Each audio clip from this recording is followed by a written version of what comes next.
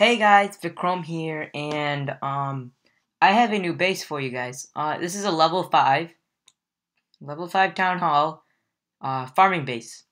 Now, if you don't know what farming base is, it's a type of base where the player only wants to keep um, the his or her elixir storages, um, gold storages, and these guys all safe, because that player wants um, the elixir and all that stuff to be really safe and collect as much as he or she can for upgrades and things like that so that um their base can get really good. And then they can reverse it and make into a base which is a uh, trophy base.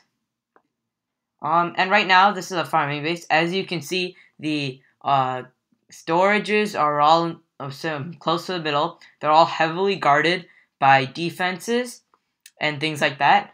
Whether uh, the sorry weather. What when did that come? Okay, but uh, the town hall here isn't very guarded. Unlike normal bases, you would see them heavily guarded. But right now, it's not really guarded. If you get past these bombs right here, you can easily take it out.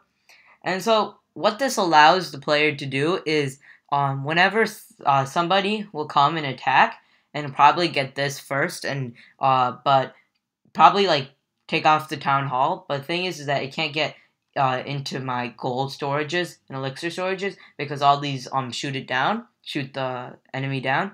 And so in that case, what you get, what they get is about four trophies or six trophies, or because they only got one star, because you get one star from taking out the town hall. If you didn't already know that.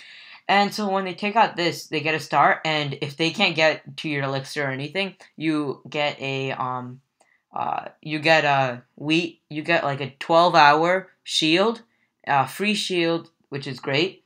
And so by doing that, you're getting a shield and your town hall's destroyed, but that's okay. But in the end, your gold and elixir storages are safe, leaving you having the same amount of money as before. You may have seen a lot of people with their um, town hall all the way here, and that's because they know other people will come and attack that right away, so they could get trophies but you, then um you can just uh, but then they can uh, get a shield. It's kind of confusing, but you'll start to learn if you talk to your friends about Clash Clans and things like that.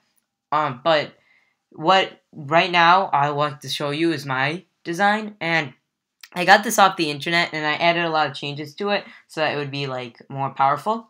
And feel free to copy it right now, right here, and copy this right now if you want, and uh, if you want to keep on um, saving up your gold and for upgrades, this is a great uh, little base. And the thing about it, what makes it so special, is that every single gold storage is surrounded by, um, or elixir storage is surrounded by two defense. Gold storage here is surrounded by cannon and air defense. Um, this one has the archer tower and the wizard tower. This one has the archer tower, which is being um, upgraded. And this, the cast, clan castle, you may not think of it as a defense, but when you have troops in it, they attack when uh, you're getting attacked, if you didn't know that. You have the mortar, mortar, whatever you say that, and the arch tower guarding this guy. Um, and that's it. Uh, which is, and there's also two cannons on either side, which just take it out if anything needs help.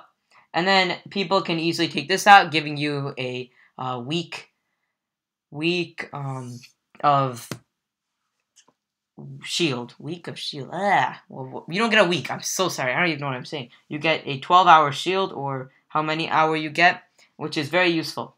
So that's pretty much it. Thanks for watching, and I'll catch you guys later. Please like, subscribe, and comment on all my videos, and I hope you guys have a great time.